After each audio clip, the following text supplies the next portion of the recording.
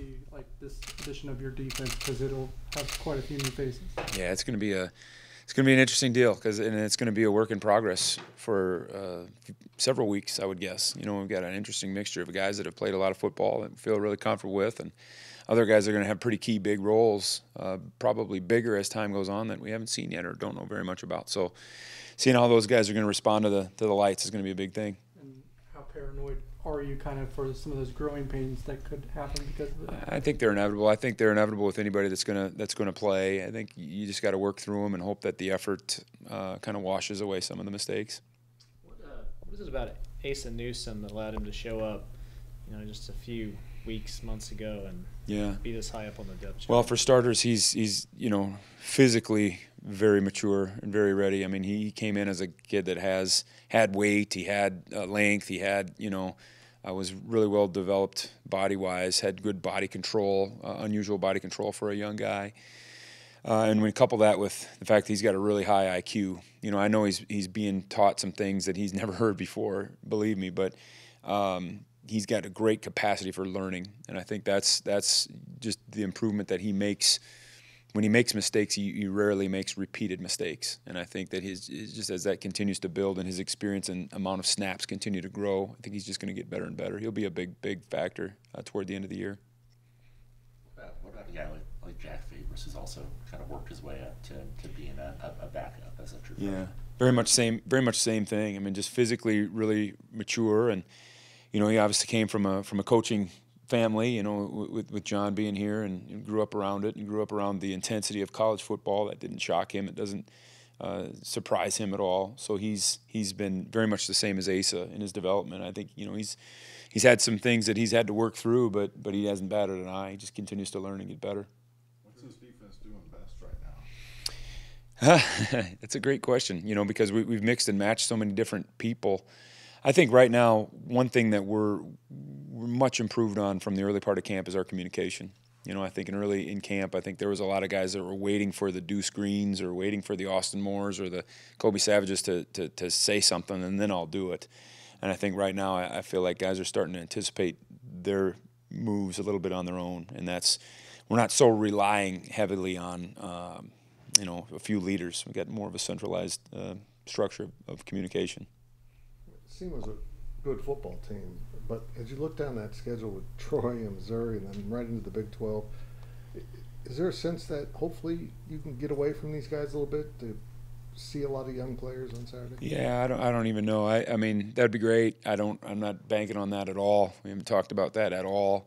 Um, you bet SEMO's a good football team, in particular offensively. You know, they, they are explosive on offense. They've put up yards and points on people, and um, you know, shoot, uh, coaching at that level, I just know how they're going to approach this game. You know, when when they get a chance to play a Power Five opponent. So, um, not something that we've really even discussed as a staff at all. Injuries, Deuce and Uso have both been a little banged up. What's their status? Yeah, uh, Deuce has been practicing all week, um, and Uso has been practicing all week, and so, um, you know, game day decisions. What is what is Des Purnell? What's that next step that, that he's taken? I know Coach Klieman said that he's, he's pretty much locked up that Sam linebacker Yeah, spot. I wish people could see him practice and how fast and how hard he practices, um, because you wouldn't have seen that if you were looking at the tape from last year's games.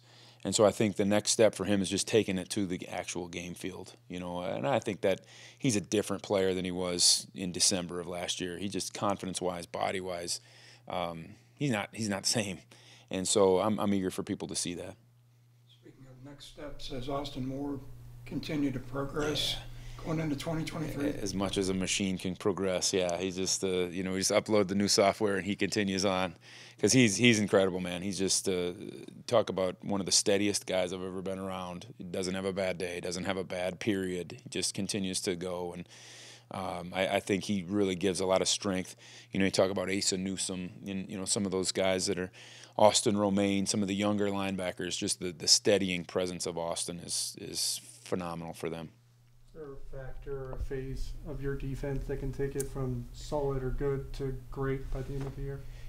Yeah, I'm hoping that we're we become a much better tackling team. You know, I, I thought we tackled well at the first part of last year, and I thought the end of the season that wasn't the case. You know, I, when you look at the Alabama game, when you look at you know some of the later games, we weren't a good tackling team, and I think that really put us in some advantageous third downs early in the season, and at the end of the year, it was a whole bunch more third and twos, third and ones that could have easily been third and sevens and third and eights. You know, and so with young guys, that concerns me. You know, that's something that we don't do a lot of live stuff with. You know, that's not uh, coach's philosophy. We'll, we'll do it occasionally. We'll do it a couple of times, but it's not like we're doing that every day. And just the speed of the game, I think those guys just got to trust that they're good football players and they're brought here for a reason. Some of those guys that haven't done it, and, and you know, I'm, I'm certain that that will improve as the year goes on. When it comes to starts, you have zero of it returning at cornerback. How do you feel about that group because of that? I feel I feel fine. I don't worry about it at all. I, I feel really really uh, confident. Jacob Parrish, um, he is. Uh, you, you'd have thought he's a three-year starter the way he, he walks around here. I feel really comfortable with Will Lee, um, just a really really natural football player. I feel really really good about Keenan Garber. Um, you know, if I would have said that a year ago, he'd have laughed at me. You know, and it just he, he is just uh, he's been great, and, and we feel like we've had some other guys in that room that are coming along too. You know, Justice James being one of those guys that you'll see. Um, you know, I, I feel I feel fine. When you have experienced linebackers back with Daniel and Austin, as a defensive play caller, are you able to call some more exotic blitzes, do some things that you haven't been able to in the past? You know, that's the that's the the tricky thing. If if it's it's Daniel Green and he's backed up by Nick Allen, you know, from a year ago that that has played a bunch of snaps, you do feel good about that. When it's Daniel Green and he's backed up by a guy that maybe hasn't played as many snaps, you got to be kind of aware of who's in the game, you know, so as to not screw people up. And you know, at the end of the day, we just want to execute. And and uh, yeah, you bet we're going to have our exotic things, but um, we're also going to be uh, intelligent about who we're doing those exotic things with, and that's that kind of falls on my shoulders a little bit. Yes, Marques Sigle taking that instinctual grasp of moving from corner Oh, to yeah. free safety? Yeah, yeah. He, I'm excited for you guys to see uh, him. He's um, he's a he's a special football player. Really instinctive, really natural, really smart, good communicator, good leader. Um, yeah, he's you know in November we'll be talking about him. Time for a couple more. Is there uh, anything that really concerns you about SEMO? I know just looking on paper, it looks like they got a really good running back.